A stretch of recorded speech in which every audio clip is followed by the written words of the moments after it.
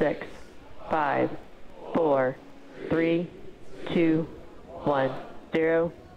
Ignition, liftoff.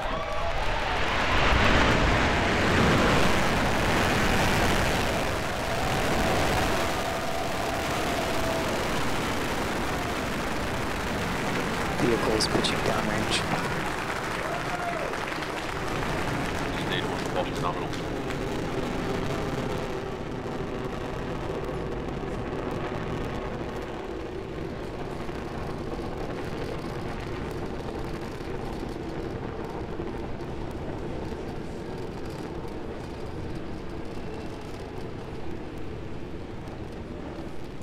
T plus 40 seconds into today's flight. All systems looking nominal for today's mission.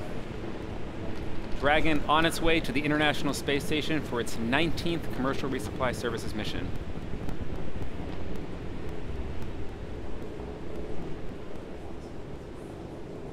Coming up in about 20 seconds, we have max Q, our maximum aerodynamic pressure, Vehicle one of the highest stress states on the vehicle.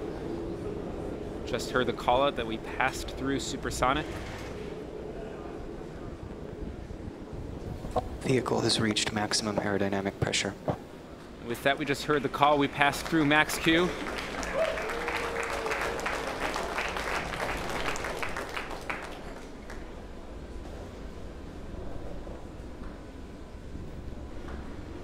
Recovery AOS.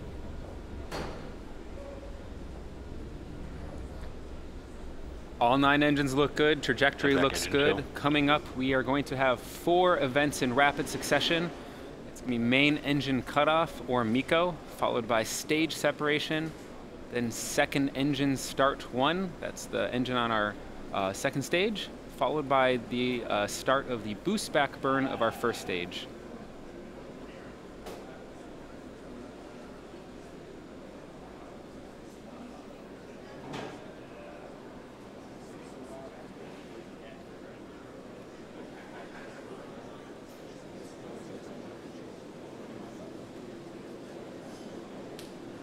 You're looking at a view of our first stage, looking aft.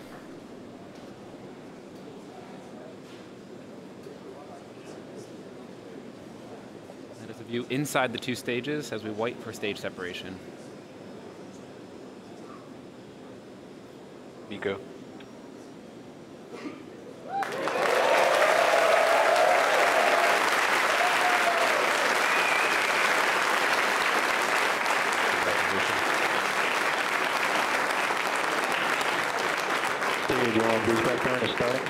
And we just had a good main engine cutoff, a good stage separation. On the right side of you, your screen, you're seeing uh, ignition of the second stage engine.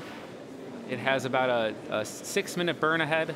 And then on the left side of your screen, that is a forward-looking view from our first stage where the boost back burn has also started successfully.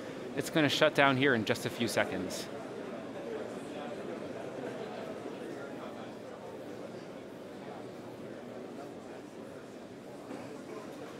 Stage one, boost back burn is shut down.